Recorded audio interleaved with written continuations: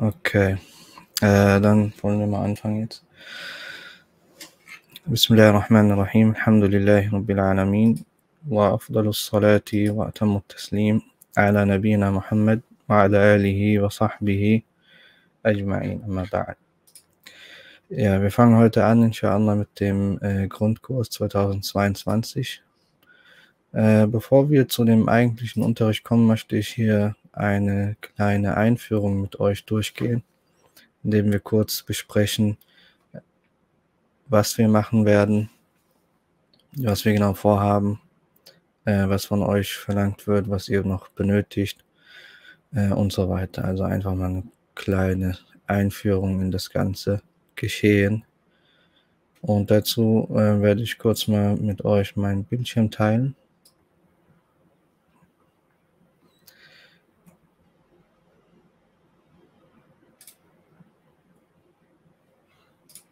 Okay. Seht ihr alle das Fenster?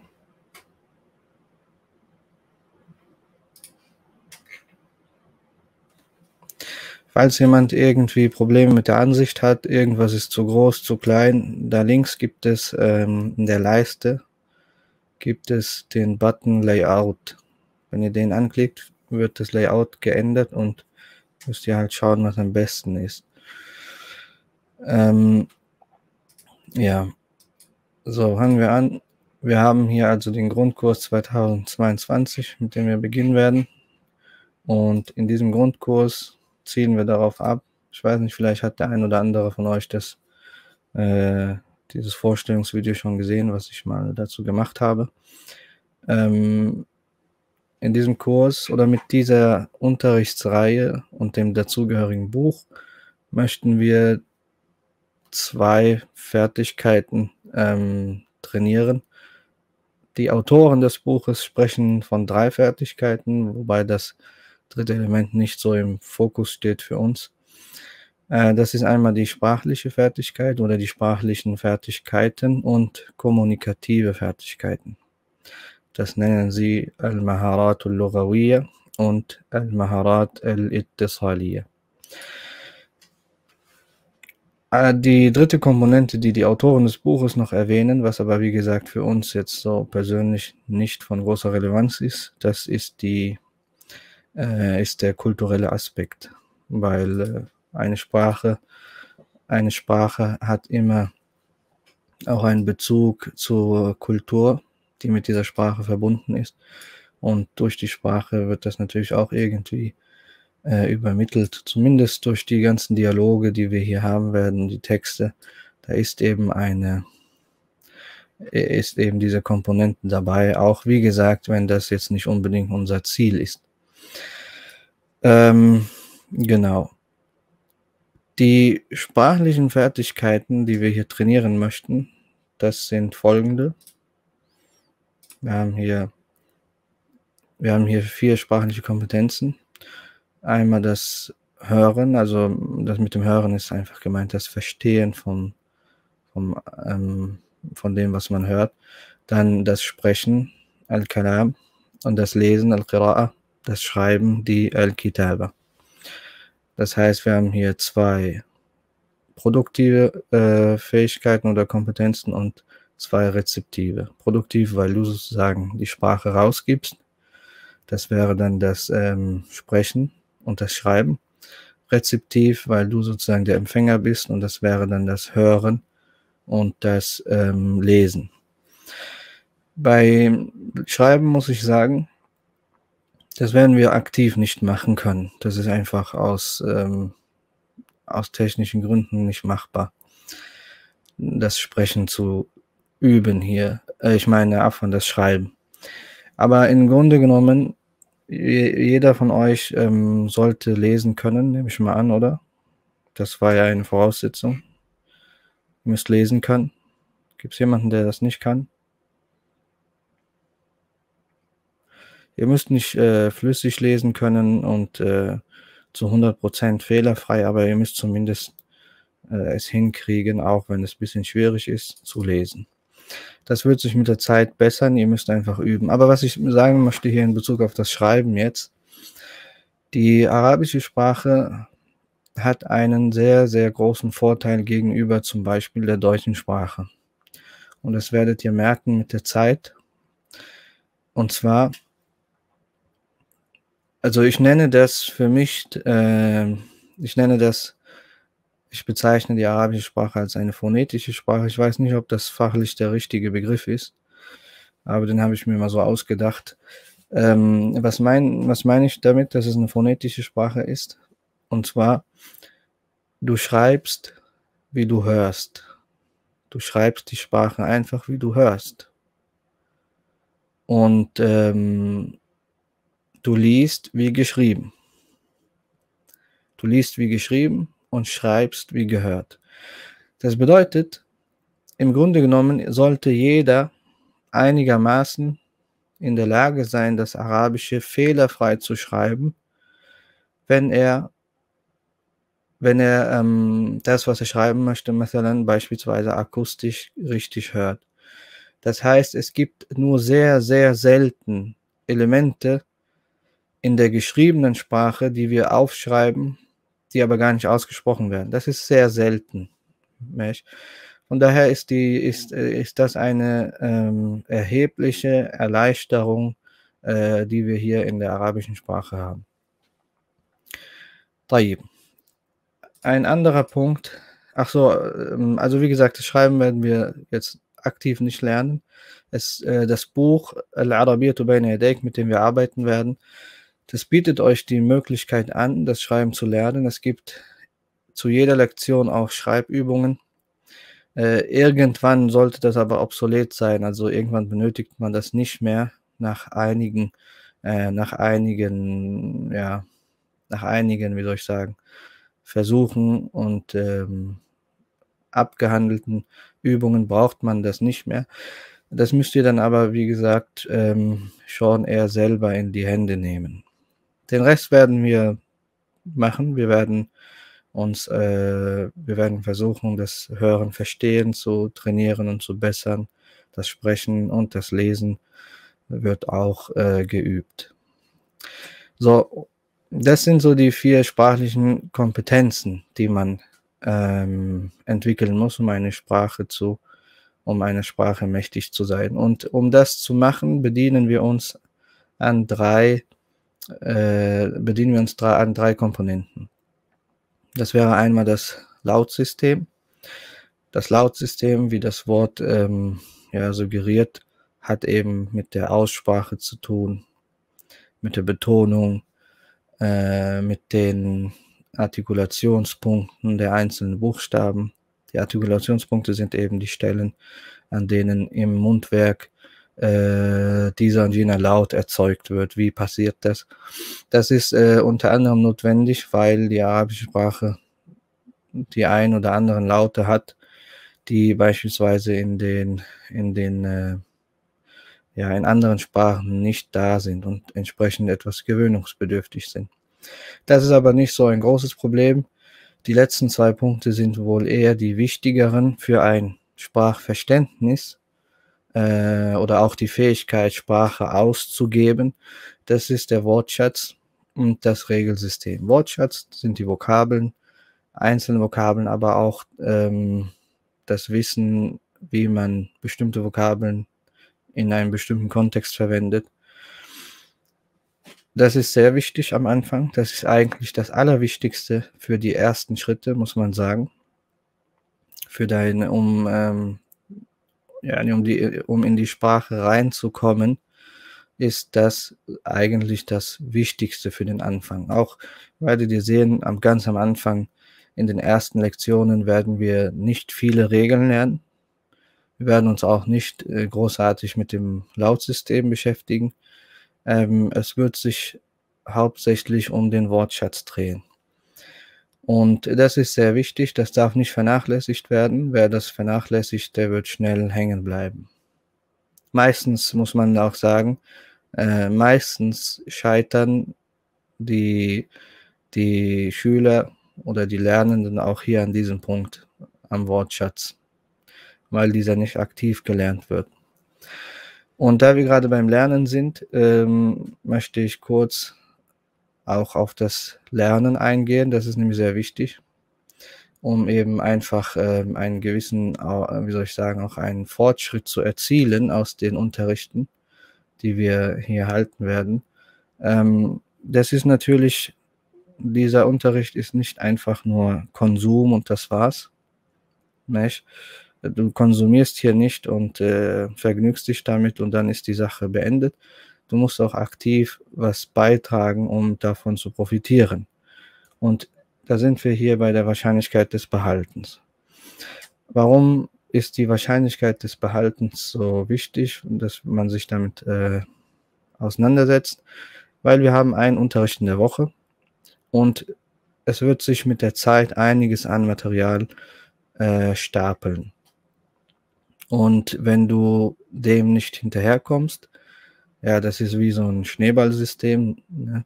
Irgendwann wird die Kugel so groß, dass sie dich überrollt und du kommst nicht mehr mit.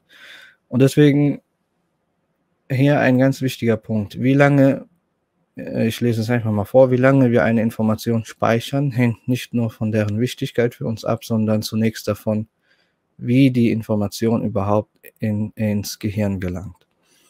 Also bei der Wahrscheinlichkeit des Behaltens von ähm, Informationen unterscheidet man grob. Also diese Unterscheidung hängt kurz gesagt einfach davon ab, ähm, wie ist die Information zu, zu mir eingedrungen, wie ist sie zu mir gelangt. Und da gibt es Folgendes zu beachten. Es gibt verschiedene, ich nenne es mal Kanäle, Wissenskanäle. Wissenskanäle, mit denen Informationen zum Hirn oder Herzen geführt werden, wie Allah Ta'ala im Koran sagt.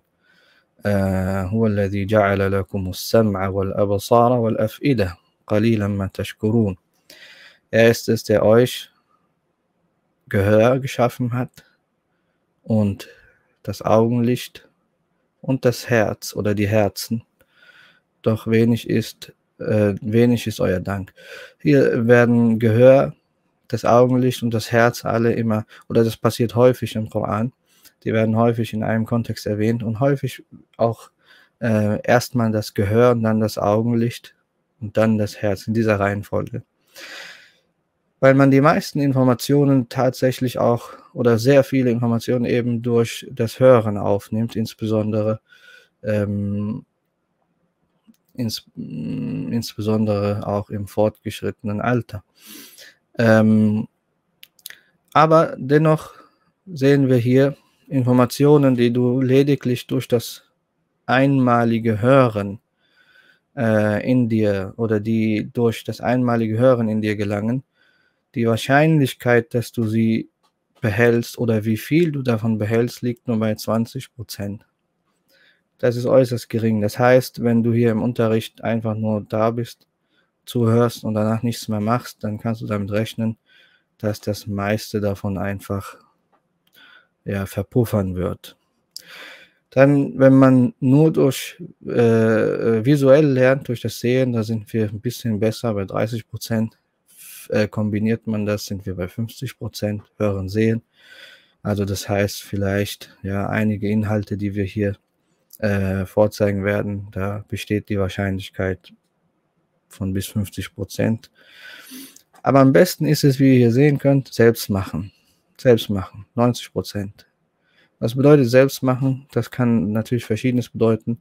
Das sind Übungen, die man macht, die man äh, oder dass man den Inhalt, den man gelernt hat, umschreibt, zusammenfasst, irgendwie sich selbst ja nie in den äh, in das Unterrichtsgeschehen einbinden und dann haben wir die besten Chancen, uns etwas zu merken. Das ist eine Sache. Dann gibt es aber noch eine andere Sache. Selbst wenn du dir 80 Prozent von etwa von dem heutigen Unterricht, Mathalan beispielsweise, gemerkt hast, dann haben wir immer noch ein Problem und zwar das Problem der Zeit. Das bedeutet, dass mit zunehmender Zeit immer mehr von diesen 80 Prozent wieder verschwinden werden. Und um das zu verhindern, müssen wir Wiederholung, äh, Wiederholungen einbauen in unseren Alltag. Hier ist eine berühmte Vergessenskurve. Ähm, auch wenn sie vielleicht nicht so ganz äh, zutreffen mag auf jeden, mag nicht auf jeden zutreffen, weil äh, dieser Versuch, der da durchgeführt wurde, doch schon sehr begrenzt war. Aber dennoch, ähm, im Groben stimmt es ja schon, dass mit zunehmender Zeit eben auch die Erinnerung an einen bestimmten Sachverhalt fällt. Und da gab es einen Versuch, der aus diesem Versuch ergab sich dann Folgendes. Und zwar die Information, die du jetzt gerade hörst, jetzt im Moment, erzähle ich dir etwas, die, ähm, die, die du, du in, die, in diesem Moment hast du noch 100% der Informationen in deinem Gedächtnis. Schon nach 20 Minuten siehst du, dass 40% weg sind, dann mit 60 Minuten sind wir zwischen, ja, so bei 45%. Nach 24 Stunden sind wir bei 30, 35 Prozent und so weiter. Es geht immer weiter runter. Wir sehen hier zwei Dinge, unter anderem die Kurve, also der, der Fall der Kurve nimmt mit zu, er wird immer langsamer mit zunehmender Zeit. Das heißt, nach, äh, nach längerer Zeit vergisst man weniger. Also die Menge des, dessen, das vergessen wird mit zunehmender Zeit, wird immer geringer. Und am Anfang ist der Fall dieser Kurve sehr, sehr rapide. Und diese, diese Kurve kann uns dabei helfen, entsprechende Wiederholungen einzuplanen. Das bedeutet, Mathalan hier, wenn du siehst, in den ersten 24 Stunden wirst du das meiste wieder verlieren. Das ist ganz wichtig. In den ersten 24 Stunden wirst du das meiste von dem, was du gelernt hast, wieder verlieren. Nach den 24 Stunden ist das nicht mehr so, ja, nicht mehr so grotesk. Das bedeutet, es ist extrem wichtig, dass ihr das, was ihr lernt, in, innerhalb von 24 Stunden unbedingt wiederholt. Nicht? Um eben diese Vergessenskurve so weit wie oben zu halten. Nach 24 Stunden könnt ihr in immer kürzeren Zeitabschnitten ähm, die Wiederholung einplanen. Die müssen dann nicht mehr so ähm, in so ähm, kurzen Zeitabschnitten folgen, aber das sollte trotzdem und es sollte trotzdem eine gewisse Routine geben, was die Wiederholung angeht. Also äh, das trifft man dann auch Vokabeln zu. Wenn du heute neue Vokabeln lernst, dann wiederhole sie zweimal noch am Tag, irgendwann nach ein paar Stunden und dann vielleicht vor dem Schlafen nochmal. Das mag vielleicht, äh, das sind möglicherweise triviale Dinge. Das sind Dinge, die man eigentlich weiß. Aber ich sage das einfach aus dem Grund, weil ich, wie ich anfangs und eingangs eben schon erwähnt habe, die meisten, die nicht weiterkommen, die scheitern einfach am Vokabular, weil sie die Vokabeln nicht lernen. Und irgendwann, anfangs verstehen sie noch einiges, mit der Zeit wird alles nur noch wie Chinesisch. Sie verstehen gar nichts mehr. Und das liegt einfach daran, weil die Vokabeln nicht gelernt werden. Deswegen ist es ganz wichtig. Routine ist ganz wichtig. Routiniertes Lernen, auch wenn es nur wenig ist. So, der nächste Punkt. Brauchen wir noch etwas zu dem Unterricht? Ihr braucht eigentlich nichts. Eigentlich braucht ihr nichts. Ihr müsst äh, kein Buch kaufen, auch kein Wörterbuch. Aber es wäre natürlich nicht schädlich, wenn man ein oder zwei Wörterbücher hat, die äh, für den Anfang unterstützend sein können oder auch einfach ähm, ja ein, etwas bereichernd sein können. Und dazu gibt es hier einmal dieses Wörterbuch. Äh, die Links schicke ich euch später nochmal. Das ist das Langenscheid-Wörterbuch. Ist kein professionelles Wörterbuch, muss man sagen.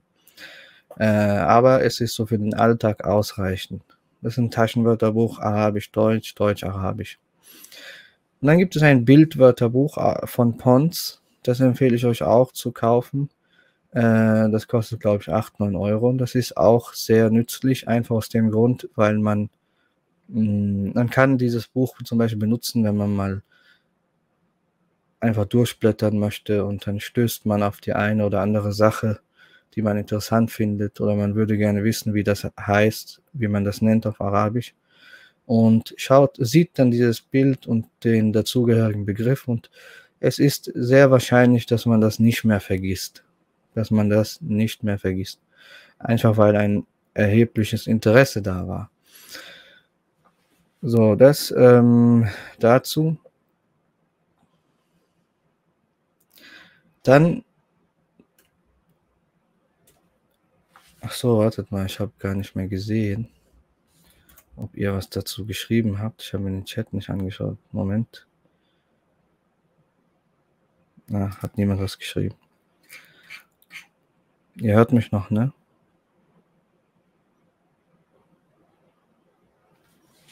Okay. So, eure Aufgaben, was wird von euch verlangt? Das sind teilweise auch sehr triviale Sachen, aber besser gesagt. Ähm, erstens, der Schritt 1 im Unterricht, am Unterricht teilnehmen.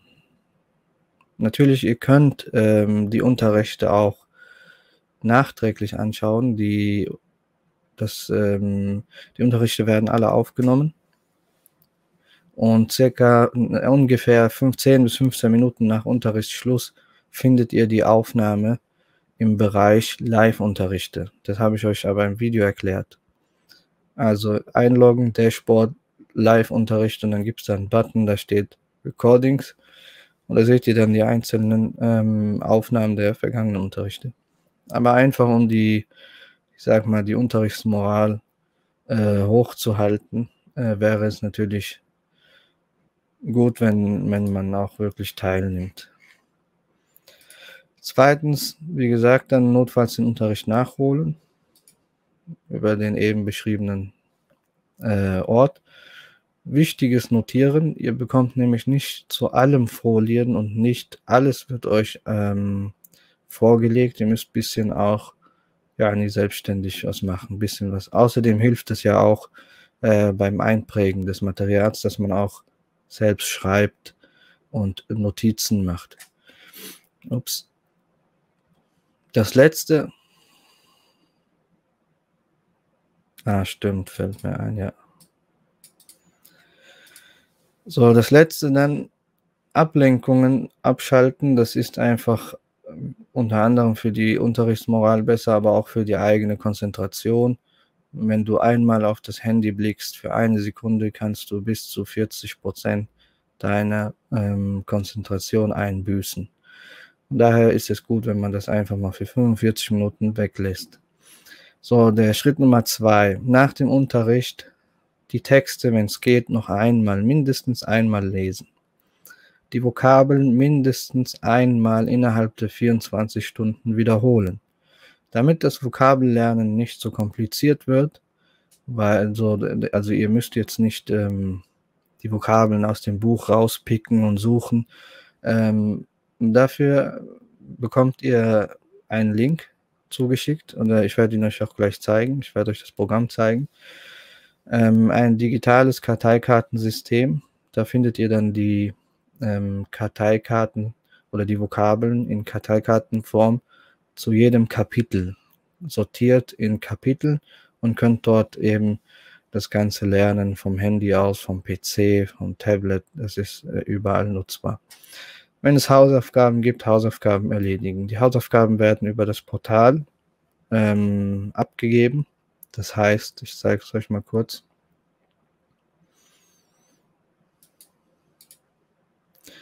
Moment.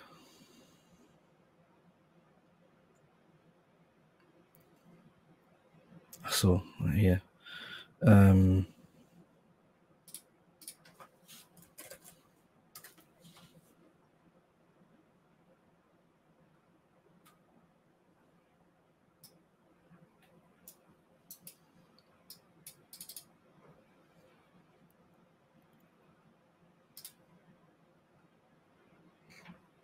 So, wartet mal, ich muss kurz noch ein Bildschirm übertragen.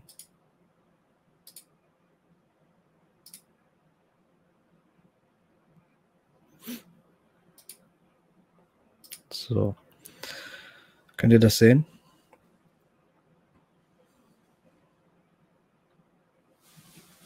Gut.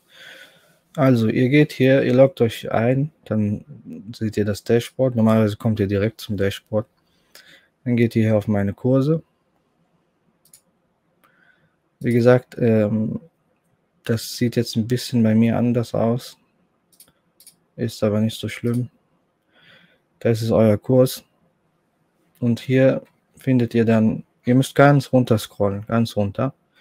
Und dort findet ihr den Kurs Content. Und ähm, das ist noch nicht, äh, da ist noch nicht alles drin, da kommt mit der Zeit, kommen da noch Sachen hinzu. Ähm, wenn ihr zum Beispiel jetzt so Kapitel 1 geht, dann habt ihr ja verschiedene Materialien oder Unterrichtsinhalte, die ihr euch auch außerhalb der Unterrichte anschauen könnt. Und da gibt es hier manchmal Aufgaben und Übungen, die, die werdet ihr dann hier eben über diese Stelle erledigen. Auch wenn ihr mal was einschicken müsst, wird das hier über das Portal gemacht. Dann geht ihr auf die entsprechende Übung und könnt das dort dann hochladen. Tamam.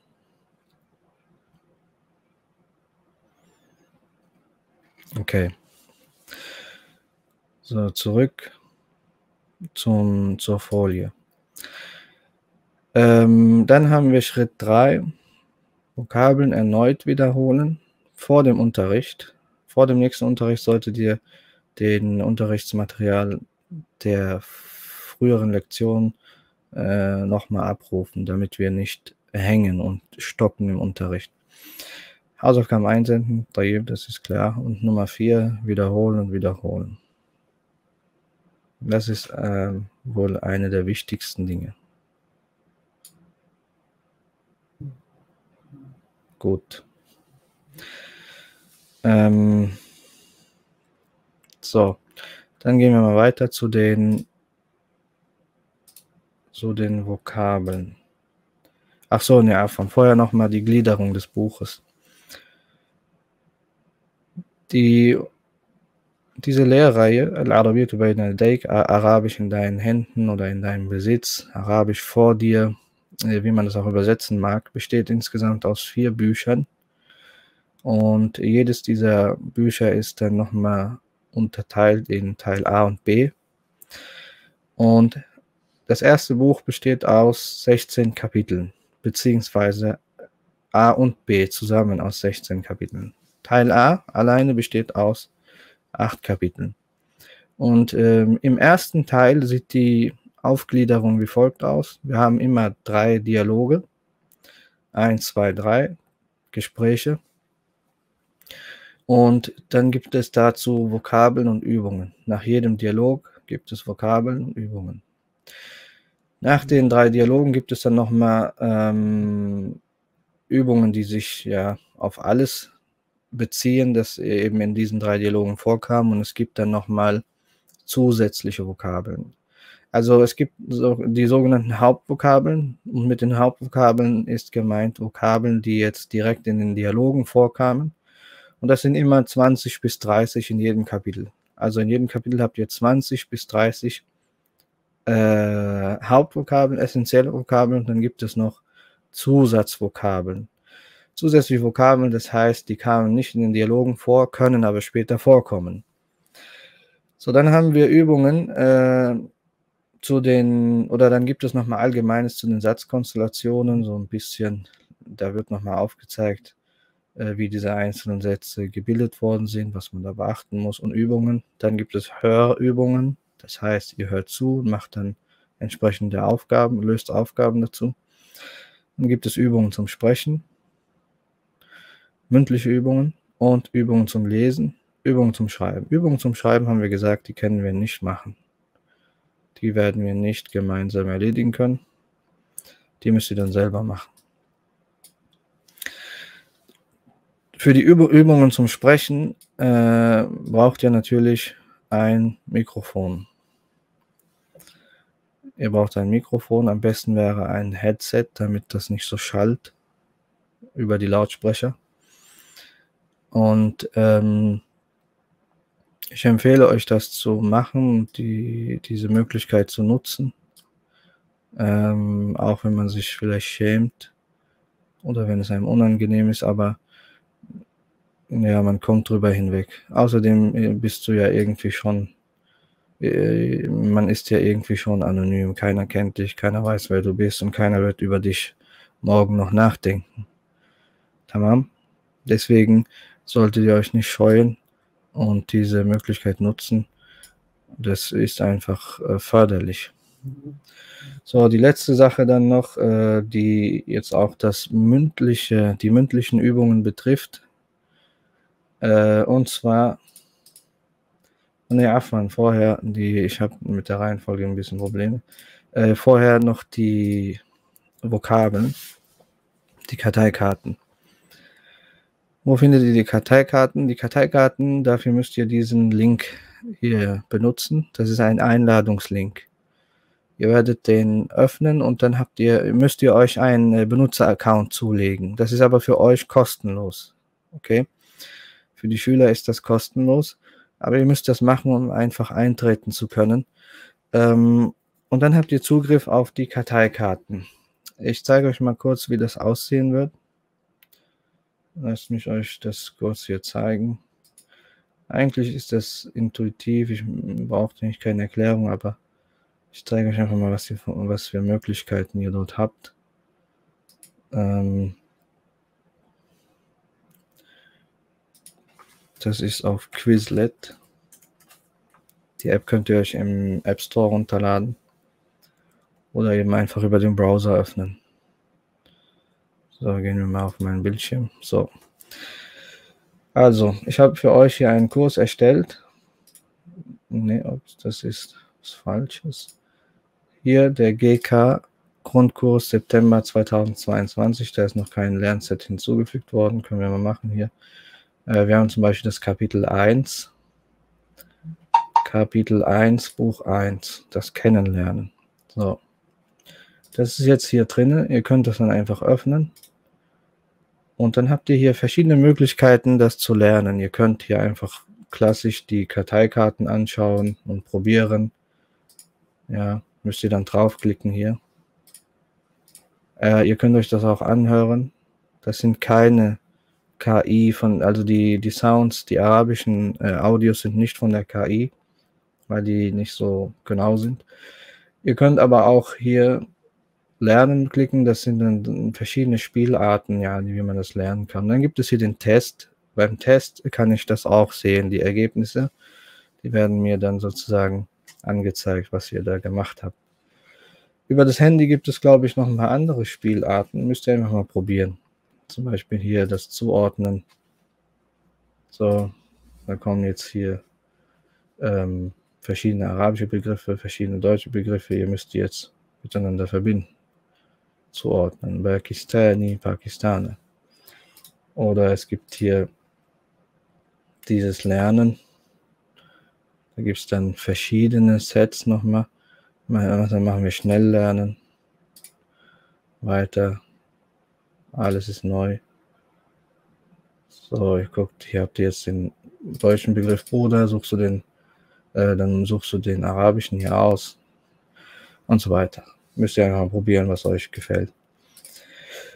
Gut, das zu den Karteikarten. Also ihr müsst über den Link da eintreten, dann habt ihr Zugriff auf die Karteikarten. Ich werde immer äh, von Zeit zu Zeit werde ich neue Kapitel hinzufügen. Im Moment brauchen wir nur ähm, das erste Kapitel.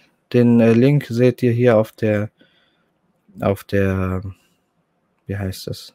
Auf der Folie. Ich schicke ihn nochmal in Telegram. Seid ihr alle im Telegram, äh, in unserer Telegram-Gruppe für den Arabischkurs? Ist jeder in unserer Telegram-Gruppe? Einige von euch sind nicht eingetreten. Ich weiß nicht, ob die jetzt anwesend sind oder nicht. Aber da sind ein paar, die sind nicht drin. Leila, ich schicke dir den Link zu, inshallah. Ähm, die letzte Sache noch. Und zwar, wir gehen wieder zurück zur Folie. Also wir sind auf der Folie. Ähm, die, wo ist das? So, die letzte Sache ist die Teilnahme von Frauen. Was bedeutet das? Teilnahme von Frauen. Hier sind ja einige Frauen dabei. Was ist also dann damit gemeint? Ich meine die verbale Teilnahme der Frauen. Äh, oh, die, mm, also es geht einfach darum, die Stimme der Frau ist grundsätzlich keine nach dem äh, nach der islamischen Terminologie Terminologie Aura das heißt, Ja, die Stimme ist nichts, was die Frau oder was der Mann irgendwie nicht hören darf oder die Frau vor anderen Männern zu verstecken hat oder sonst etwas. Und äh, entsprechend ist auch die mündliche Teilnahme der Frau möglich, wenn sie das möchte. Das gilt natürlich auch für die Männer, wenn sie das möchten. Aber ich würde euch, wie gesagt, empfehlen, das zu tun, teilzunehmen, einfach um den Lerneffekt äh, oder den Lernerfolg zu maximieren. Ja, das war es eigentlich für heute. Das sollte so eine Einführung gewesen sein. Hat jemand von euch eine Frage?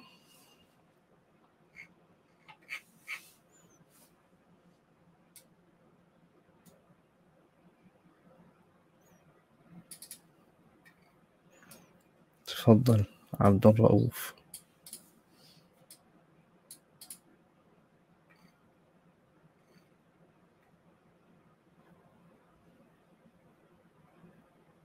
Ja, immer 19 Uhr. Also wir bleiben bei Donnerstag 19 Uhr in Scharn. Das Buch wird eingeblendet, ihr werdet es sehen.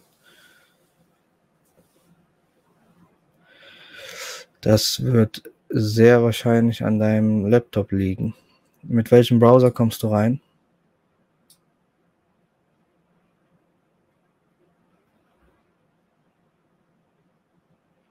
Also wegen den Gebetszeiten, man kann das bisschen anpassen, ein paar Minuten vor, zurück. Ich denke, das ist kein Problem. Google Chrome. Äh, okay.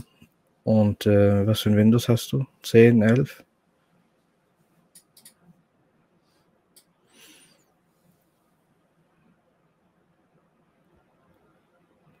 Guck mal, ich weiß nicht, woran das liegen mag. Ähm, aber vielleicht guckst du mal, ob du, ob, äh, du die aktuellste Version von Chrome hast. Ansonsten probier es mit Firefox. Mit Firefox, mit äh, dem Browser von Microsoft funktioniert das nicht. Edge hat Probleme, wird nicht unterstützt. Ach so, Chromebook. Okay, aber du Firefox findest du trotzdem. Und ähm, ja. Tests gibt es nur in der App. Ja, also die Vokabeltests gibt es nur in der App. Beziehungsweise über den Browser, aber man muss sich halt eben auf diesen, äh, auf die Seite begeben. Okay. Aber normalerweise wird Edge, also laut dem, laut dem Anbieter wird Edge nicht unterstützt, aber wenn es geht, sehr gut.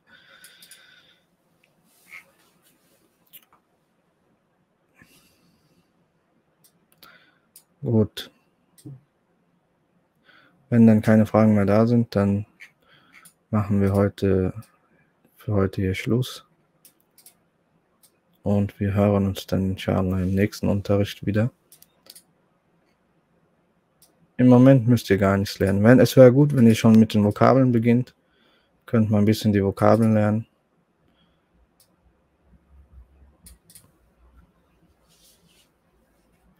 Nein, eigentlich geht es über die, also du bist auch jetzt über die Webseite online. Nur ähm, eigentlich äh, benötigt es nicht, dass ich den Link teile. Das ist jetzt ein Fehler, ich weiß nicht warum, muss mal gucken. Äh, ich werde mal nachsehen, was das Problem ist. Vielleicht geht es ja nächstes Mal wieder normal. Über die Webseite einfach. Ähm, ja, wie gesagt, ihr könnt die Vokabeln lernen und vielleicht die ersten Lektionen unter dem Unterrichtscontent auf der Webseite mal anschauen, durcharbeiten. Ja, ansonsten müsst ihr jetzt erstmal nichts machen. Die ähm, Vokalbücher vielleicht anschaffen in der Zwischenzeit. Ja.